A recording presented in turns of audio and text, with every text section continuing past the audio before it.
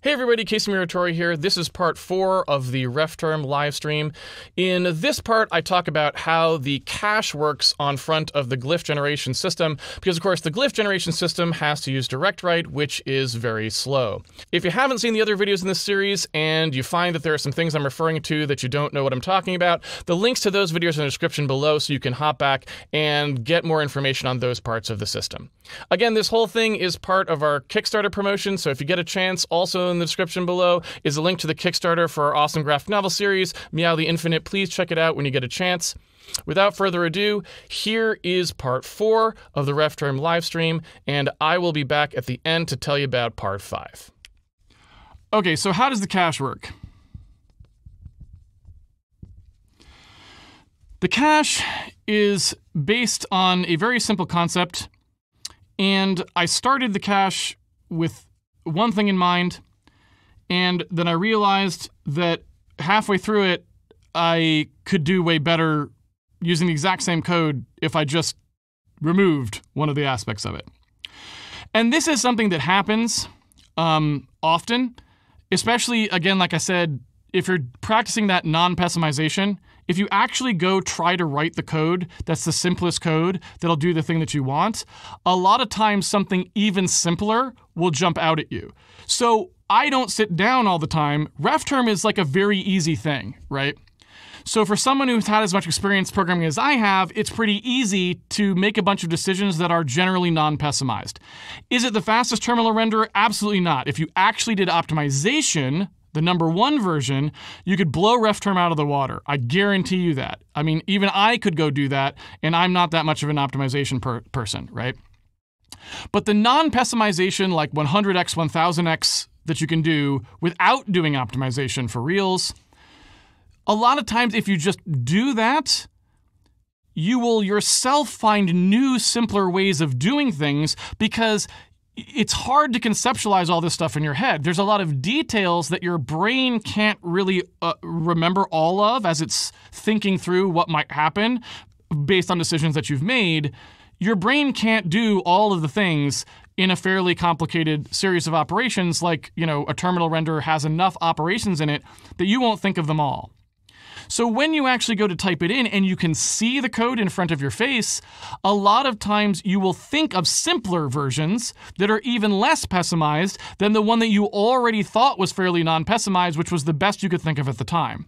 It's yet another great benefit of practicing this kind of philosophy because you get better over time. If your philosophy is heap 3,000 string classes and STL and 8 million allocations and all this other stuff on top of it, you'll never get any better, you'll only get worse because the way that you program is about adding meaningless work to things. If instead your philosophy is remove meaningless work for things, you get better over time at doing that because you learn new techniques that would never have been obvious when you first sit down and look at the problem. Now, I'm saying this as someone who's programmed for like 35 years professionally, no, 25 professionally, 35 total or something like that.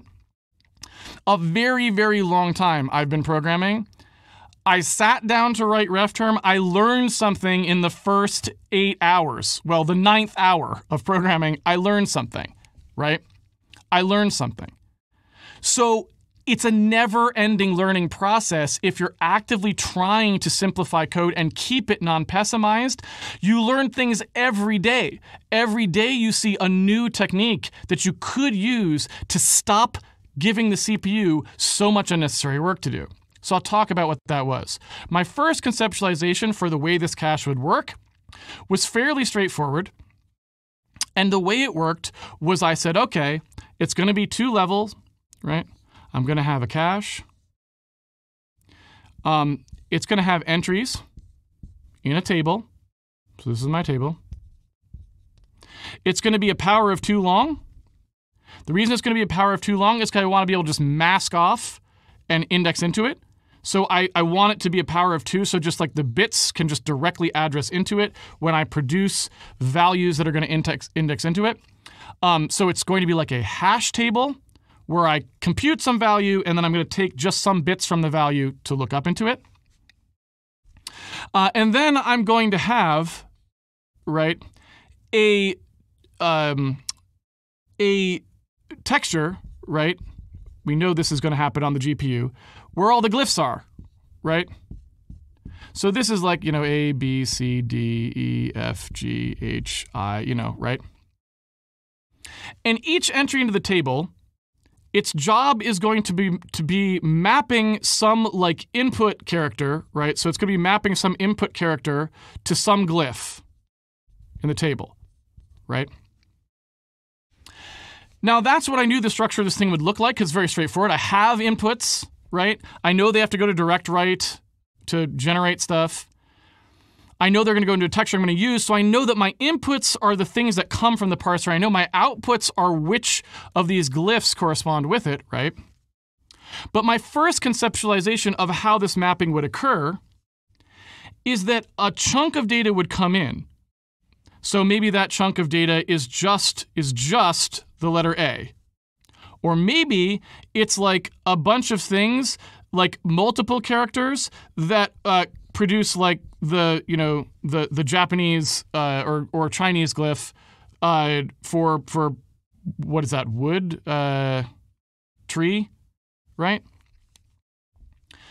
So maybe this chunk is like multiple. So this is like, you know, two, it's two characters. I don't know how to represent them here because they're not printable characters. They're two binary characters that resolve to that glyph. Or we have, uh, for example, a simple ASCII character here, like just the lowercase a, that was baked into it a long time ago. So it's only going to be one byte. So this is one byte. This is two bytes, let's say. So in these cases, I knew that I was going to be able to feed something into the front here that was one or two bytes or four bytes or whatever, and get one glyph out the back. So maybe the the you know the glyph for this would, would just be in there, right? In a bunch of cases, I'd be able to do that. But in other cases, uh, and I'm, I apologize, I can't, for example, write some of these more complicated cases, like something like Farsi, um, where, you know, if you've ever seen the way it's written, they'll typically be like a, a starting character, but then the characters will like attach to each other as they go, right? So there might be something where the font designer designed some glyph that if you looked at how the Farsi glyph lays out, it's going to be in multiple cells. So these two might, this one might also be double width. So this might be two, this might be one, but these maybe these both fit into, this could be a half width one, let's say, right? But we know for a fact that some script languages, like Farsi, the glyph designer will have wanted to do, it will be prettier and easier to read if they're able to make a single glyph that represents multiple characters in the Farsi. Um, and you could think of this as if you imagined, let's say in the US, where we're writing um, like with the Roman alphabet. The example would be let's suppose the standard way we did typography in like books and stuff was more like cursive. So all of the letters were connected, right? You could easily imagine a font designer wanting to take some very common words, like let's say the, and make an entire glyph for the where it all like flows really nicely instead of the crappy thing they do now where it always has to line up on each character so that they kind of abut. So Farsi works more like the second case. They want to be able to put in glyphs that will look nice in their language the way that someone would actually write them, exactly the way we would do with cursive, but nobody does because nobody cares now because nobody writes cursive, right? But you could imagine if we'd cared about cursive, that would be what we would do. And there probably are some fonts out there that do do that. Um, it's just very rare because people don't typeset in cursive hardly ever. So this was an important case to me. I don't like the idea of shipping programs that roll over and die whenever someone from a different country uses them. Uh, when you know I can usually think of algorithms that will work uh, for these extended cases. So I wanted to handle that here, and I doubly wanted to handle it because it doesn't work correctly in most terminal programs. So again, it was another attempt for me to say, look, you don't have to be slow even if you handle these corner cases. If you just think about it and don't add a lot of extra work, you can be fast. So what I wanted to do is take something like this and have it go in there. And it seemed to me, at the time, it seemed to me, because I wasn't thinking hard enough about it, that that meant that there had to be multiple glyph pointers in here right? So they're they're not pointers because they're indexes into a table, but you know multiple ones. So if this um, piece of Farsi you know, was some number input. I don't know. Let's say it takes five bytes in uh, and produces three glyphs, something like that. Well, then I thought I would need at least three. You know, I'd, I'd feed five bytes into it and I'd get three uh, bytes out that are which glyphs would go there. Now, this creates a really big problem. This, this is tough because what that means is that when I then go in here and I have to use uh, this table to do stuff, I end up in a situation where I I, I can't just have a fixed size, or I can have a fixed size, but it means I have to impose a limit. So maybe like I look at what most fonts' longest Farsi output glyph set would be, and I set it to that, but then the table gets kind of bloated. You see why I'm kind of like, nah? Because if I want these to be fixed entries into a table that I look up quickly, I didn't want to have a like brackets 12 in here or something for the indices into this thing and say, well, you can only have 12 as the maximum percent, right? Isn't that? But that's what I did at first because I couldn't think of another way. It's like, ah. So the first implementation of the table was exactly that. It had little slots in here and it was more complicated because I had to allocate these things to the slots. So the first version of the table that I did, when I did a lookup, what I would do is I would take the hash of the input bytes. So the five bytes come in, I hash the value, I use that hash to look up into the table, I see whether or not I hit on that index, right?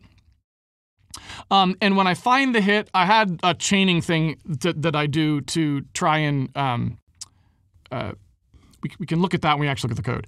In order to handle uh, resolves, uh, there's a chaining thing that I do to like chain entries together, um, but that's neither here nor there.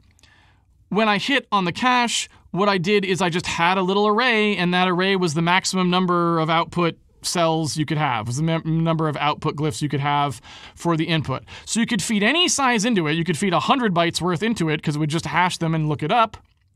But then the output was like limited to 12 characters. Now, in practice, would this have been a problem? Probably not. But is it great? No, because A, it has a limit, and B, it, it makes this table more unwieldy. The actual entries into this table um, become bloated at that point, right? They're bigger than they need to be, because most of the time, that's not happening. Um, even in Farsi, most of the time that wouldn't be happening. Most Farsi outputs wouldn't be as long as the longest Farsi output. So even in the language that I was targeting for the worst case of this particular situation, it was actually not a very good algorithm for it because it was paying that cost of the longest output for most of the things that were, would never have been that long. So it's bad even for the case that I was trying to pick as the outermost case. It's not even performing very well there compared to what I'd hoped. But that's when I realized this was dumb.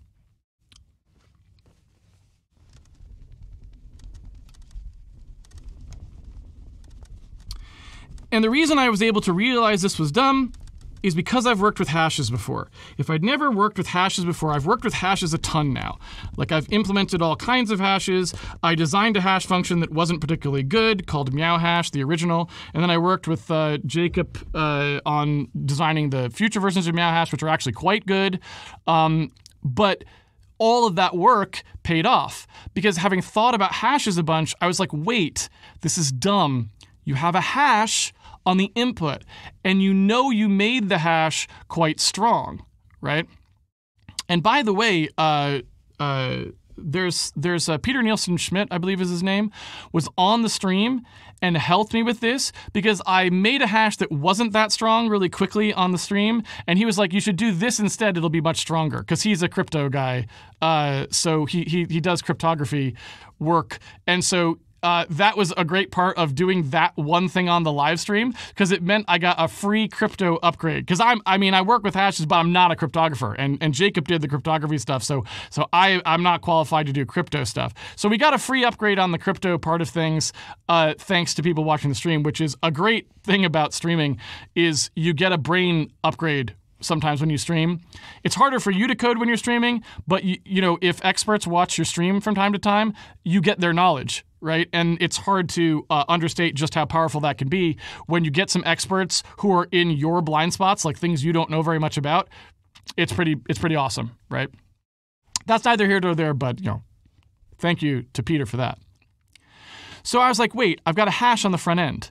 why don't I just include in the hash which of the gl- output glyphs you're doing? And then I don't have to do any of this. So instead of hashing, you know, when I had the letter A, right? Instead of just hashing A, why don't I hash A plus the number, right? And I don't mean plus uh, in that sense. Let me draw it with one of those like operator symbols. Let me concatenate a zero onto the end of this. So it's A and then the zero that I hash. So that way, when I have things that are multiple glyphs long, so for example, I take something in Farsi that's going to come out to be multiple glyphs, right? So I take five bytes in, whatever those five bytes are. I take five bytes in, and I then ask for the glyphs in order by concatenating on to the hash 0, 1, 2, etc. Right? So now you look up once into the table for every output glyph, which means there can be an infinite number of output glyphs, and it still works. So this turned out to be a much better hash design, and now this goes away. There's now just one reference to the glyph uh, texture in order to do an infinite number of output bytes for every input sequence.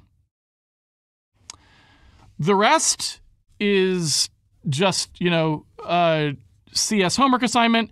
If you want to do a texture cache, well, there's not much more to it. You know what you're feeding in.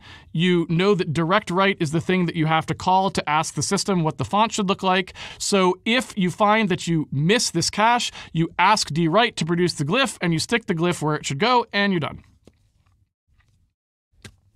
Right?